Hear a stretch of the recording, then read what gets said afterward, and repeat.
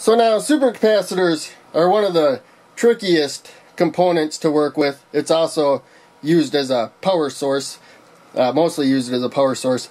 But in any case, supercapacitors can easily generate high current. And also, they only usually handle low voltages. So if you overcharge them, that will damage the supercapacitor. Also, if this side gets more positive than that side, you'll have a reverse charge, and that will easily damage the supercapacitor. It may even explode or something, uh, catch fire, anything.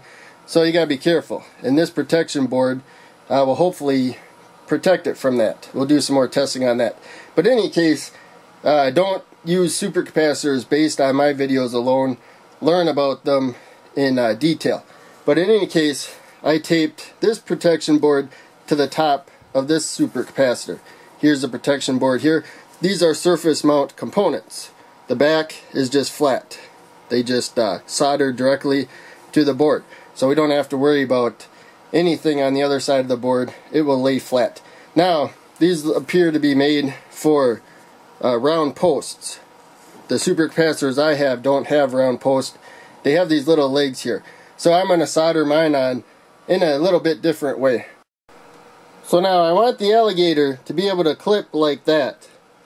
So I'm going to try to keep the solder below that point and uh, fill it in down here where there's a lot of metal on uh, both the board and the supercapacitor.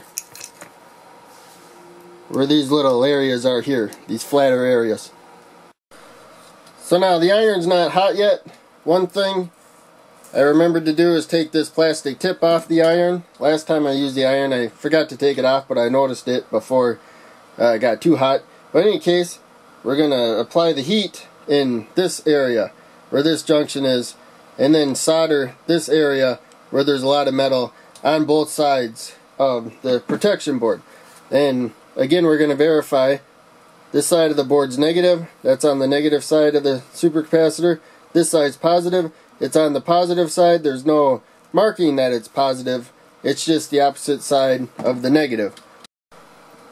And before I plug in the soldering iron, I'm going to put on my safety goggles.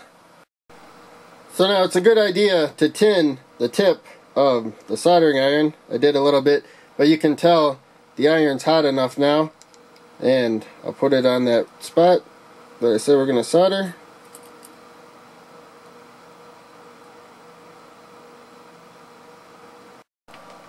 So now we're going to do the other side. I'm going to get a little closer than I did last time, try to get a better look, and fill this one up with solder.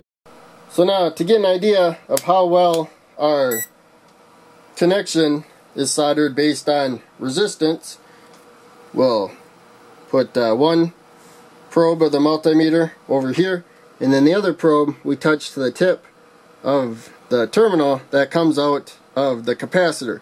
And you can see we have uh, much less than 1 ohm of resistance from this terminal to the plate that we soldered it to. And again, we'll do the same thing on the opposite side. I think there's a little tape there, so of course we don't want to measure the resistance of that. And here again you can see less than uh, 1 ohm of resistance between these two points.